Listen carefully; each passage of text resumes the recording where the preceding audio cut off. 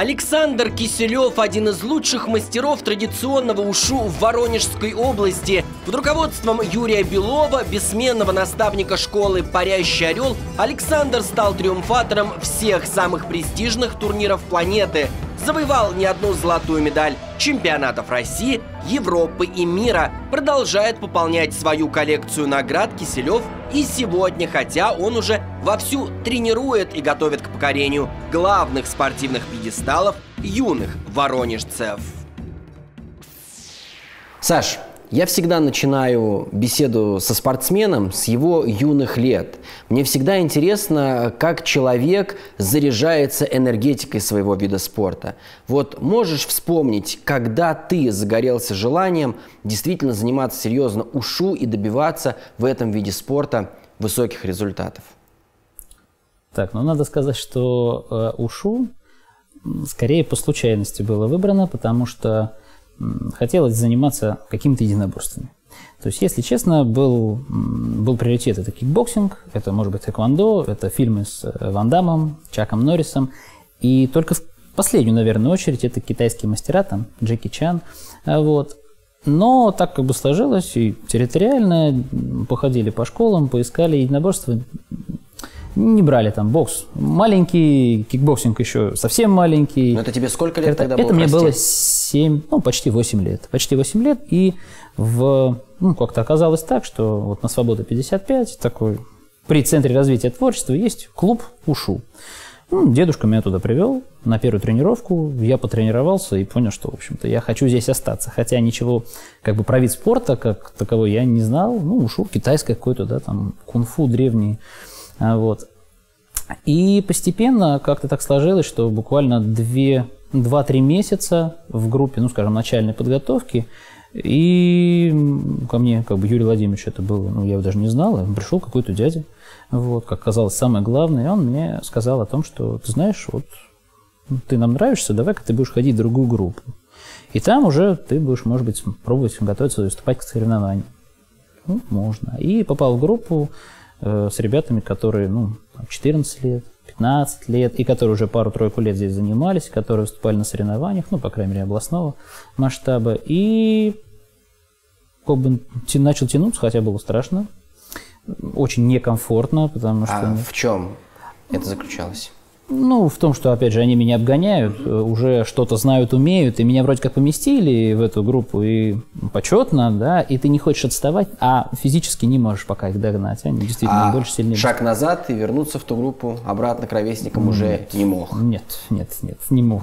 Это, на самом деле, была очень большая привилегия, и я думаю, что это такой, ну, как бы интересный, правильный педагогический ход э, вот Юрия Владимировича, потому что ну, на мой взгляд, получается, он сработал. То есть это была редкость. Был еще буквально один мальчишка, который вместе со мной такого же возраста был, он там тоже на годик постарше был, но а, поместить человека, который, возможно, подает какие-то надежды, сразу в сильную группу, и как бы дать ему возможность там ну, пропитаться вот этой энергетикой, попробовать тянуться за лучшими, за лидерами, ну, как-то вот, видимо, склад характера такой, что не дал себе скатиться и постепенно быстро-быстро нагнал. И, в общем-то, буквально это в 98 году посчастливилось, меня взяли в Сочи на Кубок России.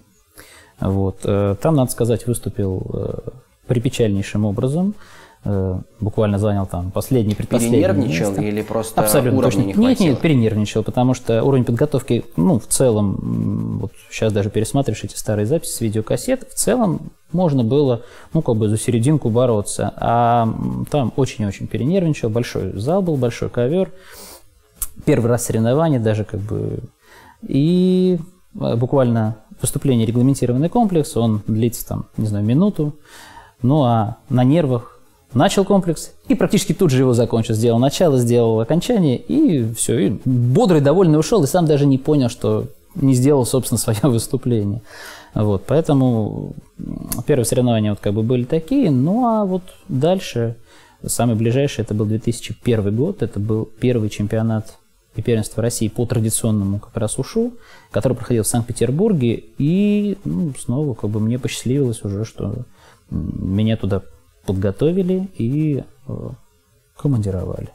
Вот. Э, этот чемпионат был примечателен тем, что э, судьями на нем выступали мастера из Китая, мастера традиционного ушу из Китая. Это было очень почетно, в общем-то, участвовать на этом чемпионате. Больше таких чемпионатов в России не проводилось. Вот. И как бы после удачных выступлений на этих соревнованиях, ну, я как бы подумал, ну, почему бы это не мое. Ну и дальше уже. А вот тогда в Воронеже Ушу насколько было популярно? О нем в городе знали? Насколько мне известно, ну, знали, слышали, что есть школа э, Ушу, Кунфу, э, школа Белова, да, вот школа Парящий Орел. Но она скорее позиционировалась как кружок, ну, такая секция дополнительно развлекательного вида, то есть это не, никак не ассоциировалось именно с профессиональным спортом вообще.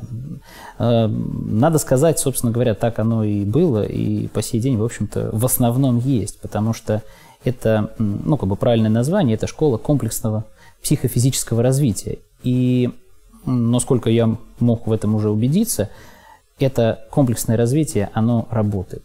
И оно может воспитать как чемпионов в сфере спорта, так и, как говорится, чемпионов в сфере жизни. То есть это могут выходить успешные люди, это люди, которым вот это развитие дает очень такой серьезный толчок в жизни дальше. Вот. Поэтому, на самом деле, в то время, ну, слышали, да, выступали на показательных выступлениях, как и другие коллективы, но абсолютно наравне с вот от Центра творчества танцевальный коллектив здесь выступает на сцене, и вот ушуисты тоже тут поразмахивали своими железками. Ну, в общем-то, только на таком уровне. Просто я к чему? Там те ребята, одноклассники, которые занимались футболом, волейболом, легкой атлетикой, на равных тебя воспринимали? Или все-таки нет? Вот мы спортсмены, а вот ты из кружка. Нет, из кружка. Да, э, как бы, тем более, что э, такие виды спорта, ну, собственно, как гимнастика, э, у меня было несколько одноклассников, э, футболисты были во дворе, э, хоккеисты, наверное, да, и борцы, вот, и они, конечно, ну, то есть залы для тренировки чуть другие, да, когда спрашивали, а где же ты тренируешься? Да, вот тут подвальчик такой, там, значит, а что у вас там покрытие, вы боретесь? Ну, да, пол у нас там, значит, они так... И как бы это говорило о, ну, для них о несерьезности того, что, а, ну, понятно, ушу какой-то, а что это вообще такое, типа карате? Я говорю, ну, будем считать, что как бы да. Ну, вот.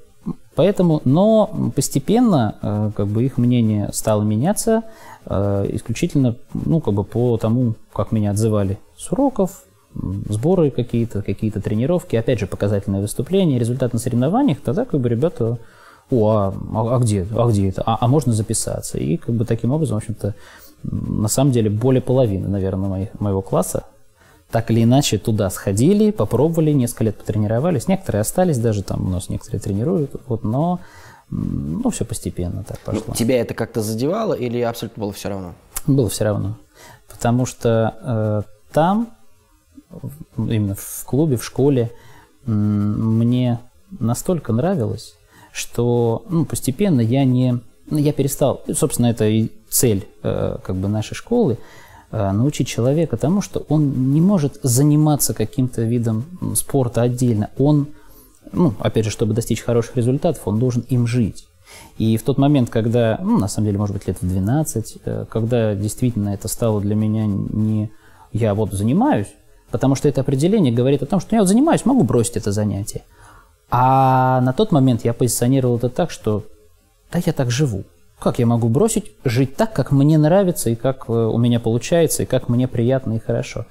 Поэтому абсолютно меня это не задевало. Я, я потом начал гордиться, что у меня именно такая школа, что я там не только занимаюсь спортом, но и, например, стреляю из лука, а не в одном виде спорта, кроме, собственно, стрельбы из лука, э, этим больше не занимаются. Поэтому ребята постепенно они начали мне завидовать. Но для этого пришлось э, пройти какому-то количеству времени. Я думаю, в жизни большинства спортсменов наступали периоды, когда хотелось все бросить, какая-то апатия.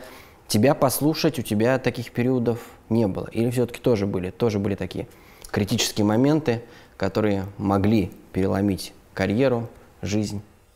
Ну, я бы сказал нет. Э, я бы сказал, таких периодов не было. Э, были, может быть, периоды какие-то э, студенческие, там, подростковые, в которых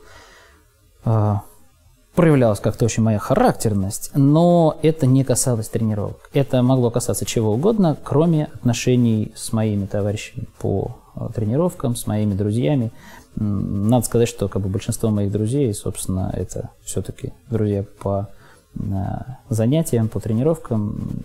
Во дворе практически не проводил время. И э, благодаря, опять же, тому, что даже по воскресеньям я проводил время на ушел, я проводил время, общаясь со своими тренерами, с, причем, ну, как бы в неформальной обстановке. У меня этот момент как-то очень гладко прошел. И это как бы отмечается у многих ребят, которые нас занимаются, что именно вот момент, когда все, надо там что-то переключиться, хотя сейчас это стало э, ну, тяжелее с этим, репетиторы и все остальное, они, конечно, вырывают ребят из вот этой вот интересной нашей жизни, но в целом нет, как-то не было такого момента, что прям вот думалось, нет, все, там, может быть, уже хватит, или это там не мое как-то. Тренировался, тренировался. Просто, ну, люблю это все дело, и поэтому нет необходимости. Даже не думал. Даже мысли, правда, честно говоря, такой не допускал, что могу бросить. Самая яркая, значимая победа для тебя в твоей карьере –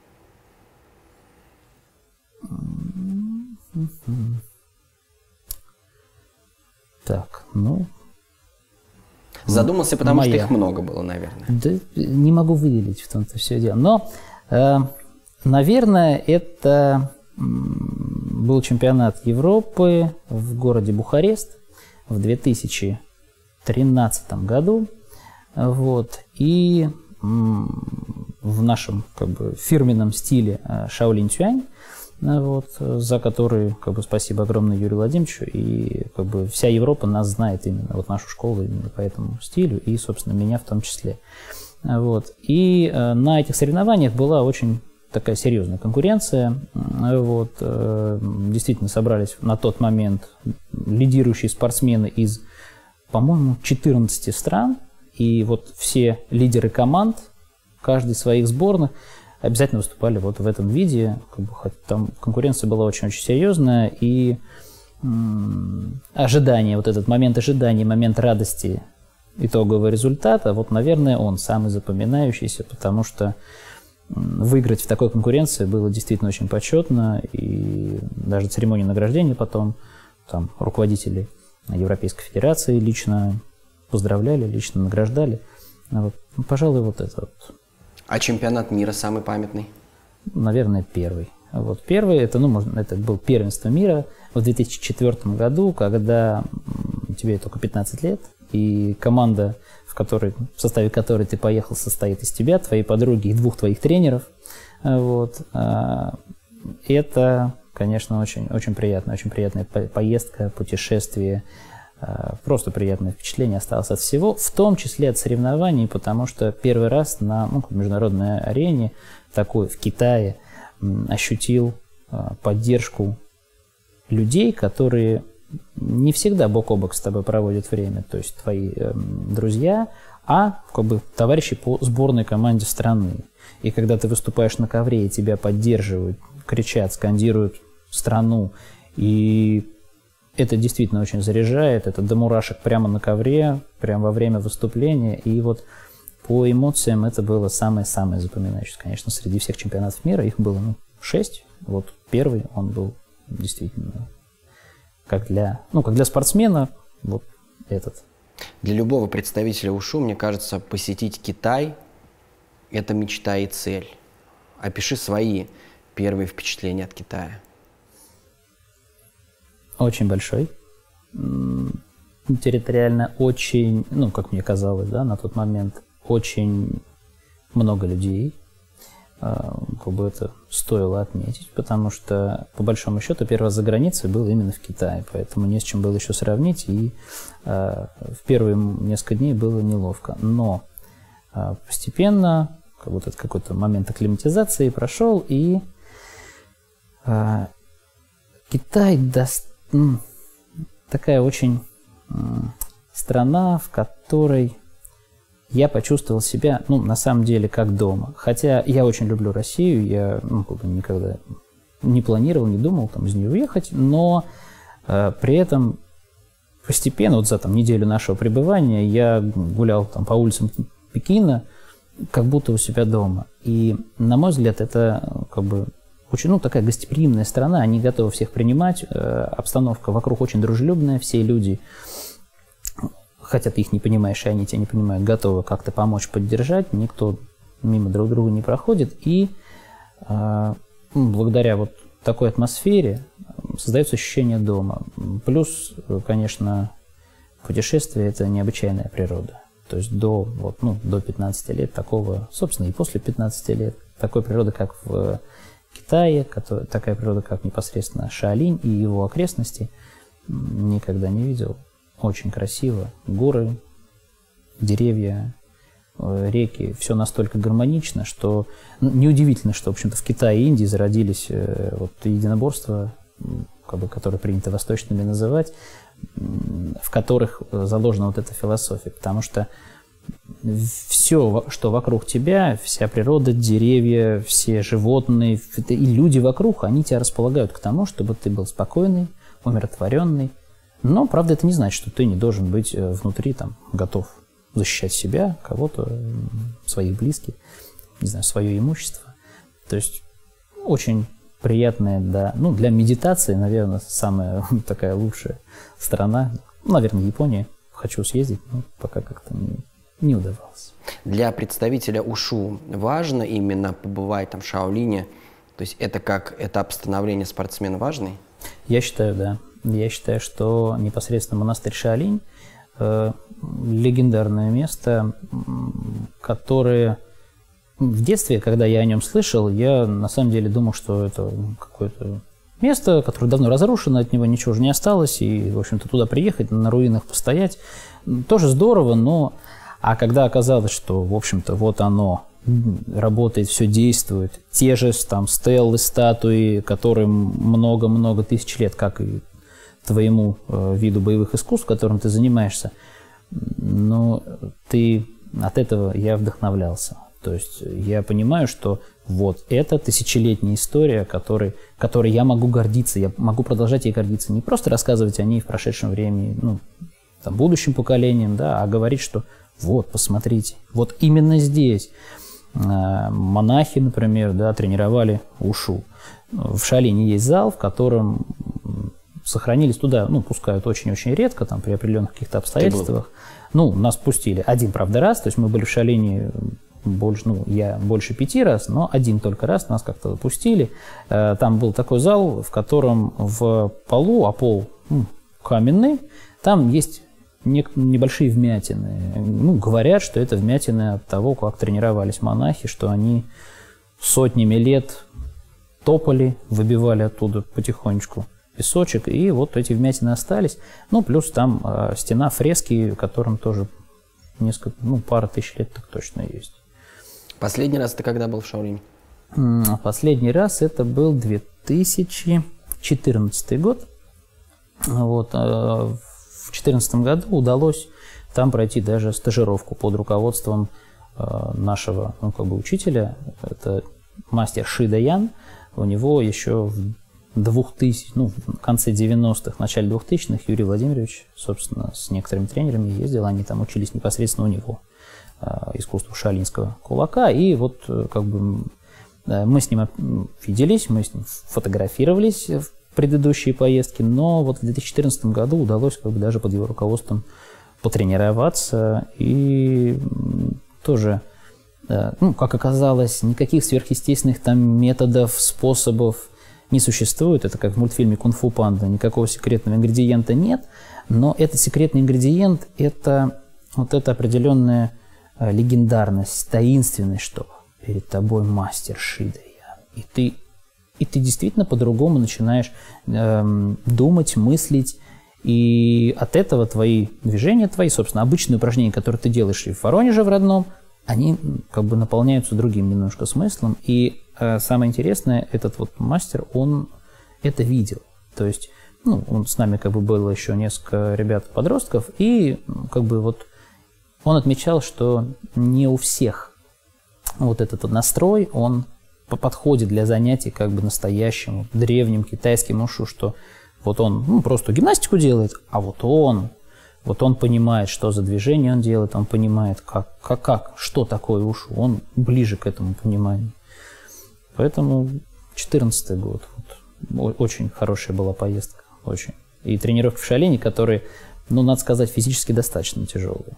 То есть, опять же, э, когда в детстве слушаешь легенды про то, как монахи бегают там э, в гору с ведрами полными воды, которые нельзя поставить, которые такие конусы, как вот, и думаешь, да ладно, ну, это сказки, ну да, чтобы интересно было деткам-то и так далее. И когда ты туда попадаешь, и тебе на тренировке дают все то же самое, и ты начинаешь с этим работать, и ты понимаешь, что да, это все не сказки. И ну, для моей как бы тренерской э, работы это тоже очень важный момент, когда я могу теперь детям это передать не как сказку, а как опыт, как фотография, как видео. Посмотрите, вот ваш тренер, вот он тут бежит, вот он здесь ползет, и ребята сразу верят, и они включаются, потому что они, к сожалению, наверное, сейчас такой мир, что э, деткам вот сказочки такие про ушу уже чуть меньше заходят, им как бы ну, не запостил, не был, так и вот показал фотографию, такие, о, да, да ладно.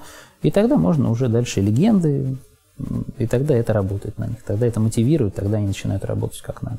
Атмосфера внутри школы «Парящий орел», она похожа на ту атмосферу, которая есть в Шаолине? А, как оказалось, она похожа.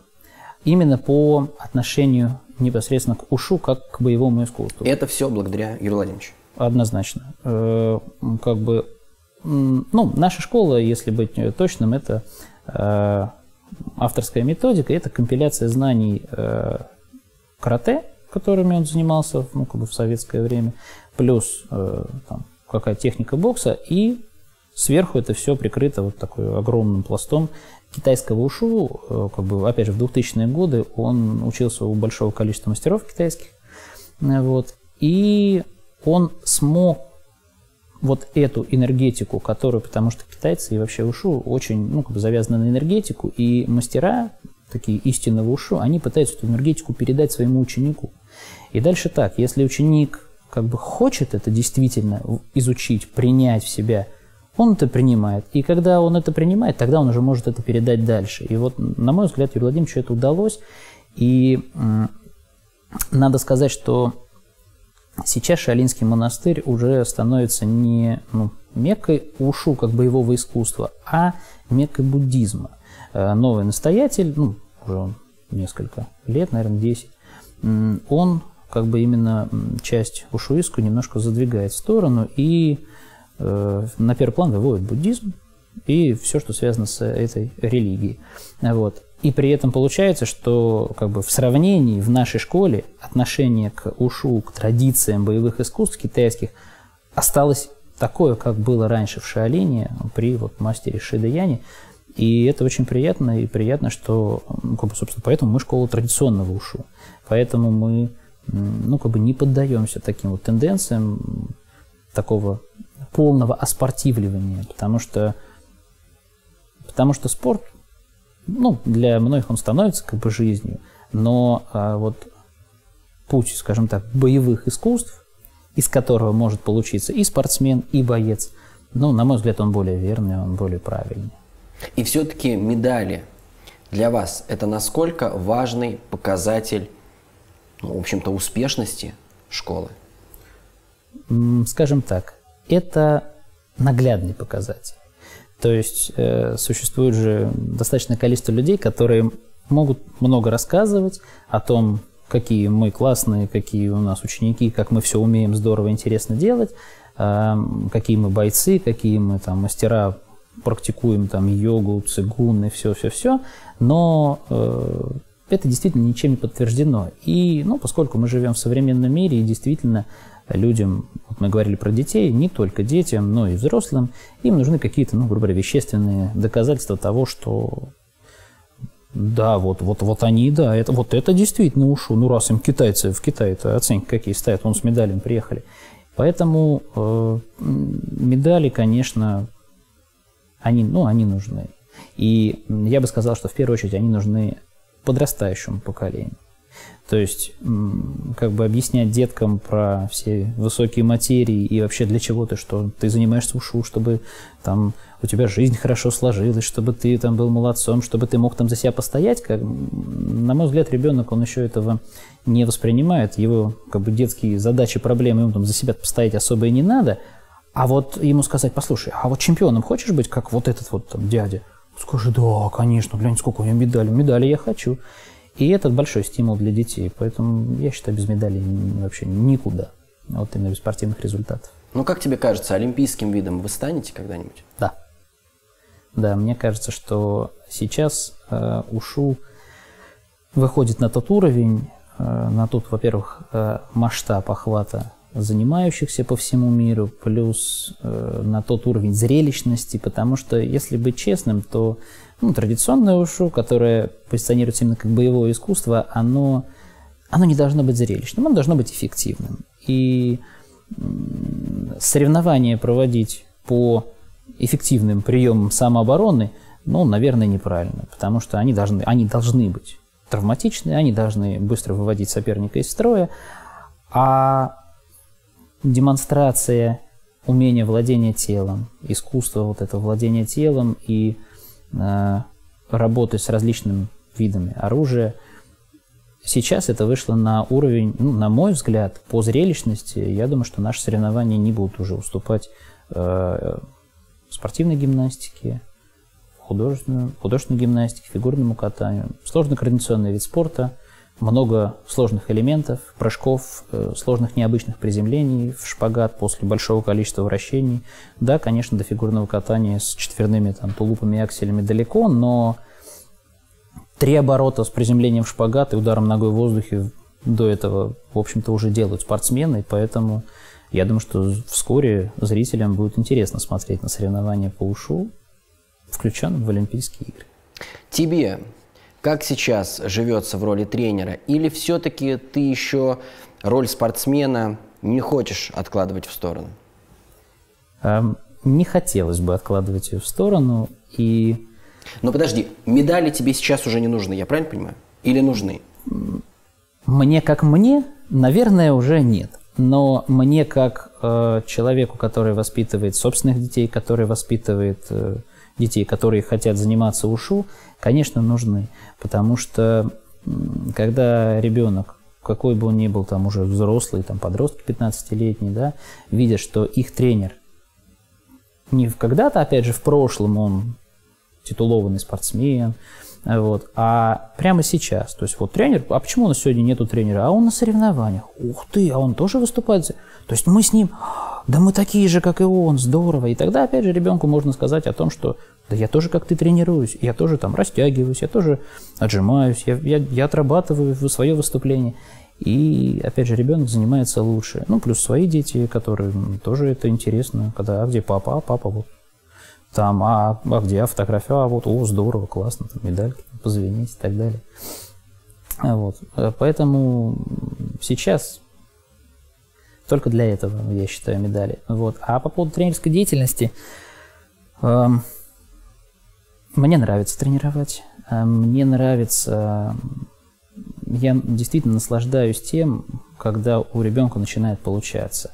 И, ну, скажем так, получится у ребенка рано или поздно.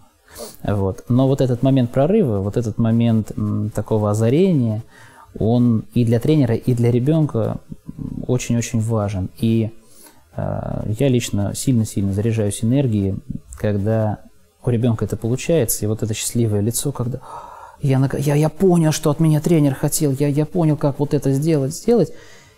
И, ну, вот лично для меня, у меня наступает такое чувство, ну, удовлетворения, я радуюсь, и это может, вот это одно такое озарение на тренировке у одного ребенка, оно может скрасить, ну, все, что могло происходить на тренировке. Там кто-то там баловался, кто-то еще что-то сделал, кто-то там ленился, но вот одна вот такая детская восторженная улыбка, что я, я понял наконец, такой Ньютон Эврика, да, вот, вот у него это, это здорово, а вот, но э, по поводу продолжения как бы спортивной карьеры, у нас такой вид спорта, что им возможно заниматься вот с 8 лет и до 80. Ну, до 80. А по поводу выступления на соревнованиях уже чуть сложнее, но... Тяжело физически? А, скорее нету времени на подготовку, потому что ну, социальные компетенции твои расширяются, меняются, э, видоизменяются. Вот. Но собственный характер соревнований уже другой. То есть ушу, поскольку оно, это многообразный вид, там существуют дисциплины, которые э, подходят людям более пожилого возраста, просто старшего возраста. Это так называемые внутренние стили ушу, в которых именно демонстрация, вот, зрелищность, физическая активность, э, такое телосложение атлетическое, оно не играет роли, оно не влияет на как бы, мнение судей, а это как раз то, что уже не очень эффектно, но зато специалисты судьи разбираются, что а вот этот вот, ну, с позволения сказать, спортсмен в 80 лет, вот он соображает в том, что он делает. А вот этот, ну, чуть-чуть поменьше. И поэтому получается, что ну, тоже вот Юрий Владимирович э, в 2004 году и в последующие годы, ну, собственно, каждые два года на чемпионате мира он обязательно выступал на соревнованиях. А уже ну, 50 ну, уже было. И он ничем не уступал, ну, как бы на своем уровне, ничем не уступал э, спортсменам, которые в его же категории, но помоложе. И он, собственно, продолжает. Вот он в данном случае для меня пример того, что просто есть другой вид, который, да, ты делал активный, мощный шалинский кулак, а теперь у тебя есть другой вид программы. Осваивай. Кроме того, это, собственно, интересно, потому что это ну, продолжение приобретения опыта, который ты, опять же, потом можешь передать э, ребятам, потому что попадаются детки ну, разного телосложения, разного темперамента, и, и им надо подобрать вид. А ты можешь с этим видом быть незнаком, а он бы сейчас бы так пригодился. Поэтому как бы, личная спортивная карьера – это огромная помощь тренерской деятельности. А кто тренирует тебя сейчас, вот если можно так сказать? Юрий Владимирович. Юрий Владимирович. Как бы... У вас есть какой-то график или тренировки по остаточному принципу, так скажем? Есть время, давай потренируемся. А, ну, скорее так. Да, скорее так. А, мы готовимся, ну, скажем так, вводная тренировка, я получаю задание и а, работаю над ним. После этого мы находим возможность, и я его прошу посмотреть, подкорректировать, оценить. Вот как бы, ну, скажем так, черновая работа вся проводится мной самостоятельно, а работа как специалиста, как вот такого скульптора, который дотачивает вот свою скульптуру, это, конечно, он. И, ну, лучше него в нашей школе, конечно, это никто не делает. То есть э, он может просто на любого ребенка посмотреть и сказать, так, вот тут чуть-чуть вот сейчас поправим, и все. И можно как бы показывать. На, можно на выставку. Вот. И, ну, поэтому только самостоятельные тренировки плюс такие консультации у мастера. Ты когда-нибудь задумывался, какой была бы твоя жизнь, если бы ты занялся не ушу, а, например, кикбоксингом? Нет, не задумывался. А, ну, как бы посещали просто такие мысли, но они не получали э, развития даже в, вот, в моей голове, потому что не хотелось этого, об этом думать. Есть интересная восточная, наверное, поговорка. Говорят, ее приписывают Брюсу Ли, что у кого есть выбор, тот как бы не свободен. И э, как раз я считаю, что для меня это тот случай, когда у меня и нет выбора. Меня вот этот выбор настолько устраивает, что я даже мне не интересно думать о том, что я вот что-то еще здесь. Хотя как бы куда-то расширяться, скажем так, э, свое сознание, свои умения, какие-то дополнительные компетенции, ну, просто которые отвечают, там, не знаю, веянием времени, не знаю, там, блогерство, э, фотосъемка и так далее. Это тоже интересно, но это не мешает основному, как бы, вот этому, основной деятельности. Ну, знаешь, как принято говорить, там, из-за спорта у ребенка детства не было, там, студенчества не было, молодости не было. Вот у тебя таких мыслей нет, что, эх, вот если бы не было ушу, я бы хоть нагулялся, наигрался бы с парнями во дворе в футбол. Футбол наигрался. Я ну, в детстве немножко тоже занимался футболом, и, там, бальными танцами, э, поэтому этот момент был. Но если ну, как бы просто вернуться опять же к школе, там было всего достаточно. Я, мне, у меня не было необходимости потренироваться, а потом пойти куда-то еще погулять. И даже в студенческие годы, ну, студенческие годы уже э, как бы привлекали к тренерской работе, поэтому и это было интересно, приятно, это было тоже почетно, что о, о, меня, меня позвали вот тут с ребятами поработать, здорово. Вот.